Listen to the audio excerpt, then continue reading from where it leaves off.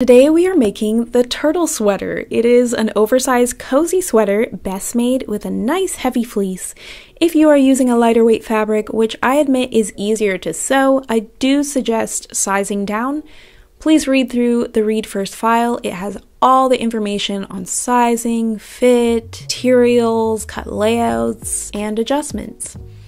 For materials, you will need your main fabric, a fleece sweater fabric. I'm using a jacquard knit, which is on the lighter weight side, but still very cozy. And just a note that I'm using two different sets of fabric in this tutorial because I made a mistake for my main sample and I don't want to confuse you. For the collar zip construction, you will want a lightweight jersey. It's basically t-shirt fabric. You also need a light to medium weight fusible interfacing, which is essential for the collar zipper construction. I have a lightweight tricot here. You could also use a woven as well. You need some 3 8 of an inch or 1 centimeter wide twill tape. And lastly, you'll need a 7 inch closed end zipper. Today I am making a size small, and just to note, seam allowance is always included in my patterns. For this one, it is 3 8 of an inch or 1 centimeter everywhere. Now without further ado, let's get sewing. Start by applying fusible interfacing to wrong sides of the collar fleece jersey, zip facing, and zip shield. Pre-press your cuffs and zip shield at the dotted lines with wrong sides facing. Overlock your zip facing outer edges and make sure you're not overlocking the top curved edge, otherwise it will become too bulky. Using a straight stitch, sew one short end of the zip shield right sides together. Turn out and press, then overlock the raw edges. This is going to cover the zipper on the inside so that you don't have to feel it on your chin. So it's basically a comfort thing.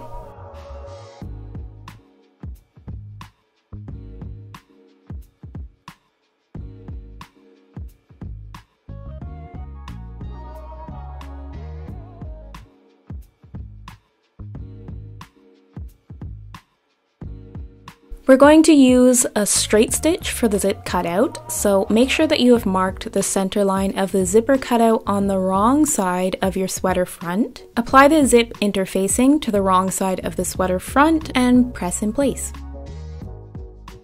On the right side, mark the center line of the zip cutout with disappearing pen or chalk and line up your zip facing over it. I like to fold it in half and then line up the fold with the center line and then open it. Pin this in place and sew around the zip cutout rectangle. Once this is done, you're going to cut down the center until about a quarter inch or six millimeters short of the bottom stitch, then cut from there to each corner of the rectangle stitch, being sure not to snip the stitches, and then turn the facing to the inside and press so that the facing fabric isn't showing on the good side and it should look beautiful and clean, just like this. Looking at the inside of the garment, line up the zip shield along the bottom edge of the zip facing with the folded edge to the right side and the enclosed sewn end at the top. The shield should be centered over the zip cutout. Pin in place and then sew around the outer perimeter of the zip facing, catching the bottom of the zip shield as you sew. And this is what it looks like. This is where we will insert the zipper after a few steps. For the shoulder seams, we're going to use a straight stitch with twill tape. If you don't use twill tape, then use some kind of stretch stitch like a zigzag or an overlock stitch. With the sweater back facing up, place the sweater front shoulders to the back shoulders, apply your 3 8 of an inch wide or 1 centimeter wide twill tape about a 16th or 2 millimeters from the edge and sew at the 3 8 or 1 centimeter seam allowance. Trim the seam allowance down so that it is narrower than the twill tape and sew the twill tape to the sweater back. The twill tape stabilizes the shoulder seams so it will keep it from growing if you put it on a hanger or just stretching out over time. And it also looks really nice, so it's a win-win. For the collar assembly, we're going to use a straight overlock or zigzag stitch, the choice is yours. Sew the collar pieces right sides together along the top, leaving the bottom edge open. And it's important to note that I do recommend cutting one piece in your fleece or main fabric and the other piece, the inner piece, with a lighter jersey, as I did with my other sample. If you're sewing with an overlocker, remember that the seam allowance is 3 eighths of an inch or 1 centimeter. So here I'm cutting off an eighth as I sew since the overlock stitch is only a quarter inch wide. If you're on a domestic machine, you don't have to worry about this. Of course, you're just going to follow the 1 centimeter or 3 eighths of an inch guideline on your machine bed. Turn out your assembled collar and press. Now, there are two options for applying the collar to the neckline. The first is an easy stitch version. It's easier but not as clean looking. Then there is the enclosed method, which is slightly harder, but it looks so much better. Starting with option one, which is the easy stitch, and you're going to be using a straight stitch for both of these methods. Place the assembled collar right side to the sweater neckline, matching the center back and shoulder notches and aligning the front edges with the edge of the zipper cutout. Make sure that you do this very well. You don't want an edge sticking out or it to be back from the edge. I didn't do the best job of this on one side, so just do your best. Sew in place all around the neckline. I'm doing a straight stitch because I'm adding twill tape to the seam later so that it won't stretch and pop the stitches as it stretches. If you plan to not use twill tape over this, sew with a stretch stitch like a zigzag or overlock.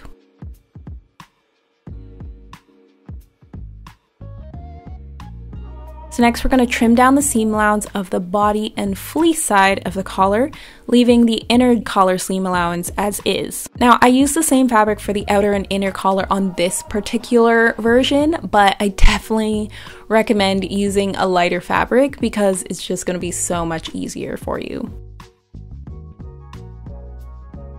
So when you're applying your twill tape, you're going to sew one side of the 3 8 or 1 centimeter wide twill tape just beside the sew line of the neckline, lining up both ends just shy of the front zipper cutout edges, so like a 16th or 2 millimeters, and do as I say, not as I do. As you can see here, I started the tape way too far away from the edge. I think I started it like half an inch away and it doesn't get concealed under the zipper later, so it just doesn't really look that nice. so start your twill tape just like a 16th away from the edge.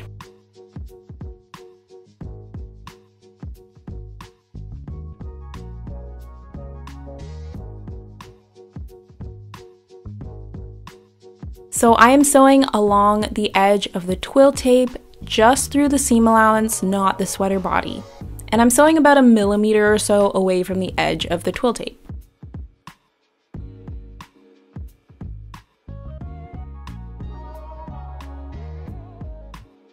Now that that is done, pin the free edge of the twill tape to the body and sew it down with the result of concealing the seam allowance.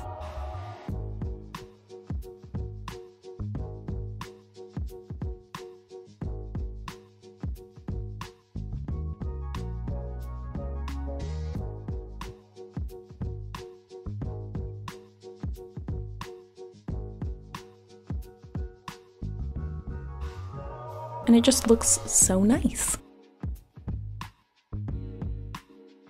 Now we are going to move on to option two, which is my favorite, the enclosing stitch. Again, we're going to use a straight stitch for the whole thing. And this sample I'm actually sewing with two different fabrics, a fleece side, which is the beige, and the jersey side, which is the white. Place the assembled collar right side or fleece side to the right side of the front center neck cutout edge. Wrap the inner jersey side of the collar around to the inside of the neck. Make sure that it's securely and tightly wrapped around the edge of the zip cutout on the sweater body, otherwise, you'll end up with the collar jutting out slightly.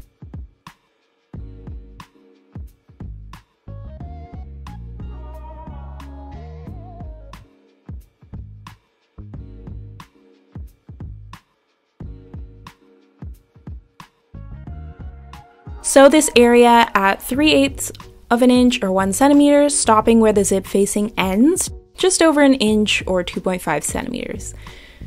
Do this for both sides.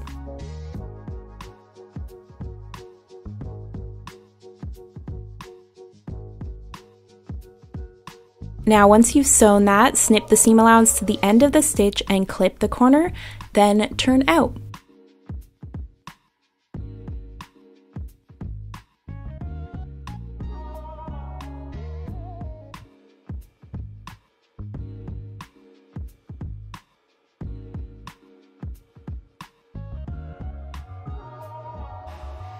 The seam allowance at the end of the enclosed stitch and line up all layers and pin together.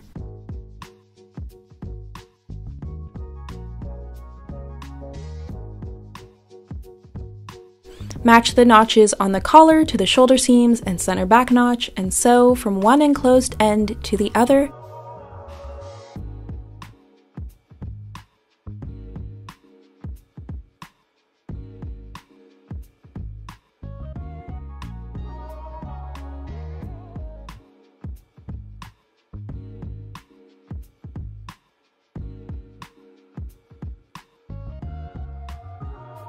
Start and end the stitch as close to the enclosed seam without stitching over it and creating a pucker.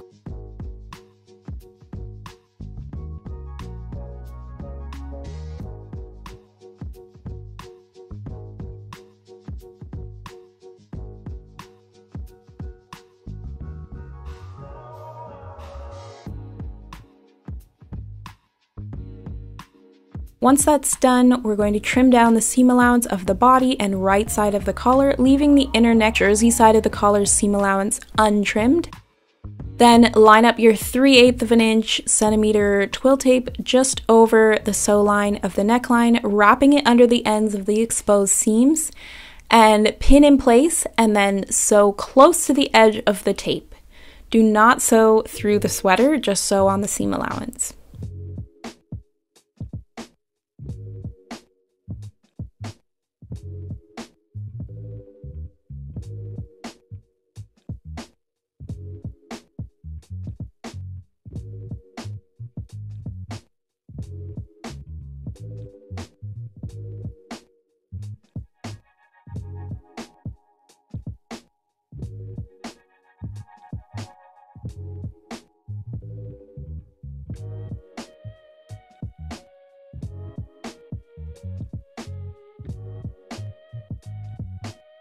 It just ends up looking so clean and professional. This method just really makes me happy. Next, pin the free edge of the twill tape to the neck of the body.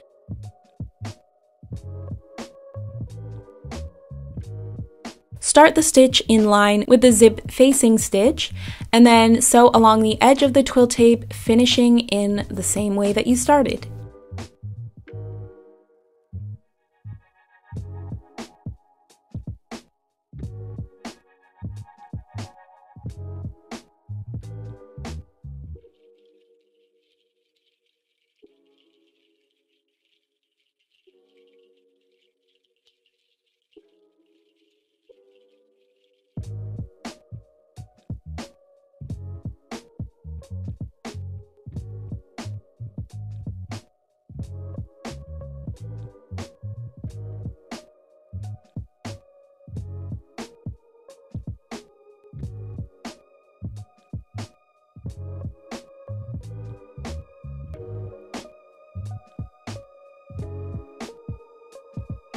For step 5, again, we're going to use a straight stitch. On the back side of the zipper tape, start by folding the top of the zipper tape towards you. Apply a strip of twill tape 1 8 or 3 millimeters away from the zipper teeth and wrap the end of the twill tape over it. Apply this to the right of the zipper teeth on the back of the zipper.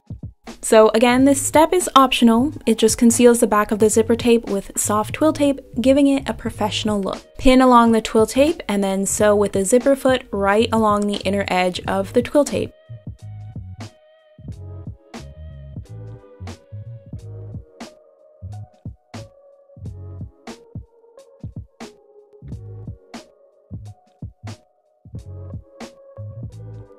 Trim down the end of the zipper tape with pinking shears so that it doesn't unravel, or you could just cut it straight and burn the end. The tape should be less than 3 eighths of an inch or 1 centimeter from the bottom stop. And you can cut the twill tape in that area the same way, I did not need to wrap it under like I did there.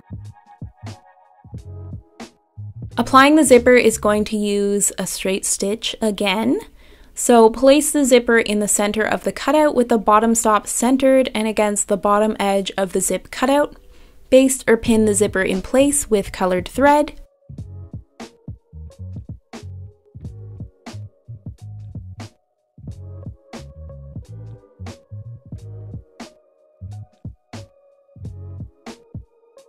And just a tip, basting is a bit harder because it's bulky to hand sew. I had to use the table to push through the needle at some times and it was a bit fiddly. But when you're sewing, the zipper will stay in place better than if you pin it. So do whatever feels right to you. And from the inside, the zip shield is aligned when sewn with the left side of the zipper tape.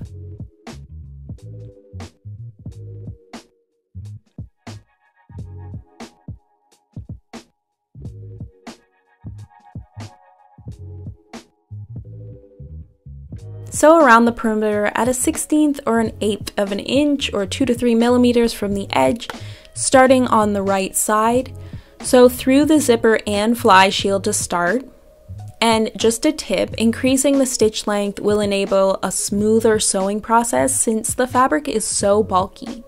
Then you're going to pivot and sew across the bottom and then pivot again and move the fly shield out of the way so that it doesn't get sewn with the top stitch and sew the other side of the zipper.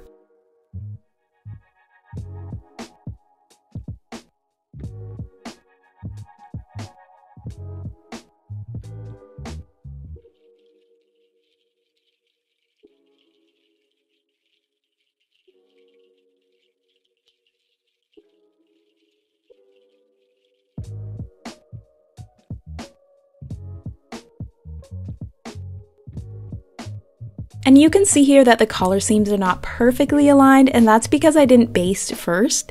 It's not that noticeable, but it's still something you can consider when you're applying the zipper.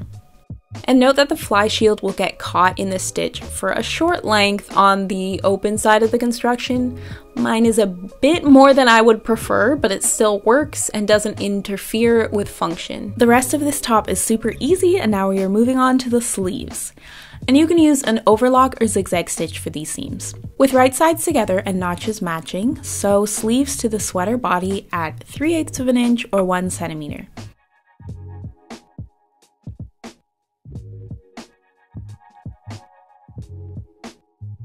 Again, remember if you are doing an overlock stitch to cut off the eighth of excess seam allowance.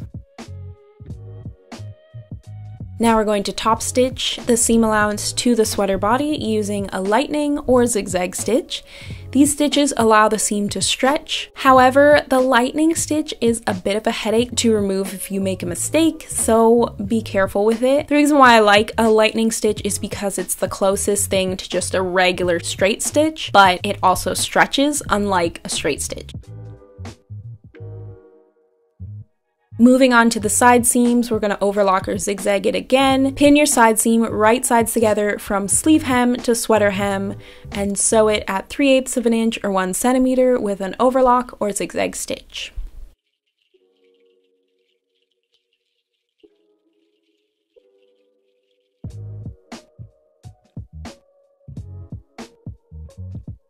You're going to place your sleeve cuffs right sides together along the short side, sew that up, and then fold in half with wrong sides together. I like to snip it in the middle and then alternate the orientation of the seam allowance so that it just lays really flat.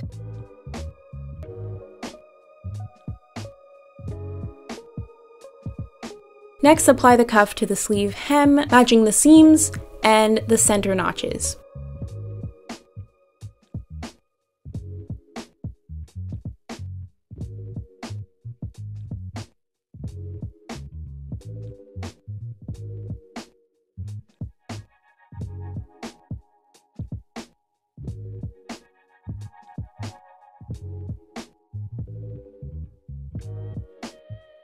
And your sleeves are done. All that is left is the hem.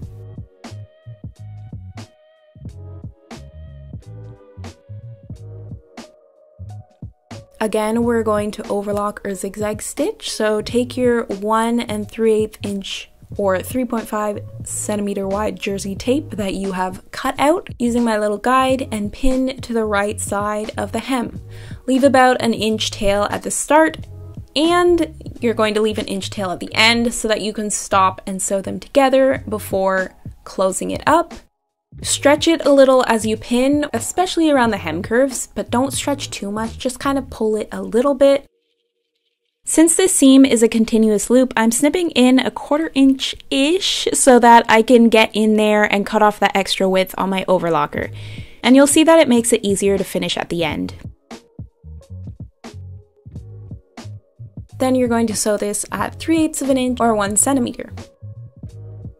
And then when you come around to the end, stop your stitch an inch or so short of where you started and sew the ends of the jersey tape together, then close the gap left along the hem.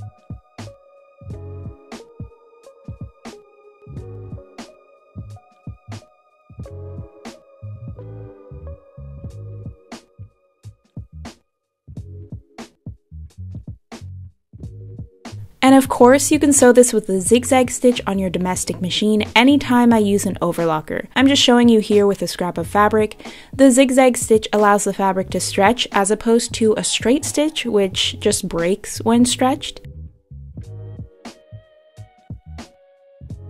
Iron this seam open and then fold the jersey tape to the inside and pin it in place. Now, if you're going to sew a zigzag stitch, pins are enough to keep it in place and sew it neatly, but I am going to be sewing with a double needle, so I'm basting the hem just an eighth or three millimeters from the edge of the jersey, and this will make it easier for me to sew from the top. And I'll quickly show you how to set up a double needle, it's really easy. You'll want a double needle that is compatible with your particular machine. I'm sewing on a Singer Quantum, so I'm using the Singer needle. Remove your single needle and replace it with the double needle. Make sure the right sides of the needles are facing you. Thread the left needle first, then feed through another spool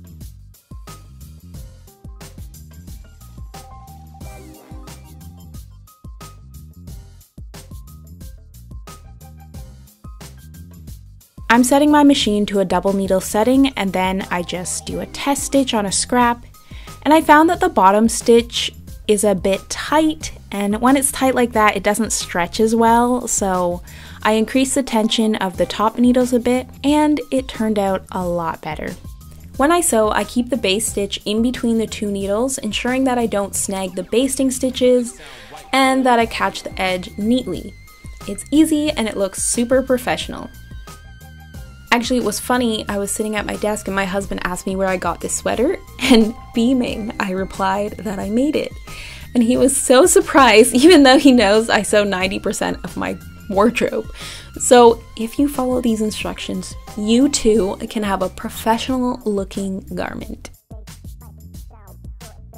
Once you're done, give the hem a quick press and you are finished. Congratulations on sewing your very own turtle sweater tag me on Instagram using hashtag turtle sweater and at me at Lydia Naomi Studio. Thanks for watching. Check the mic and make sure it sound right, boys.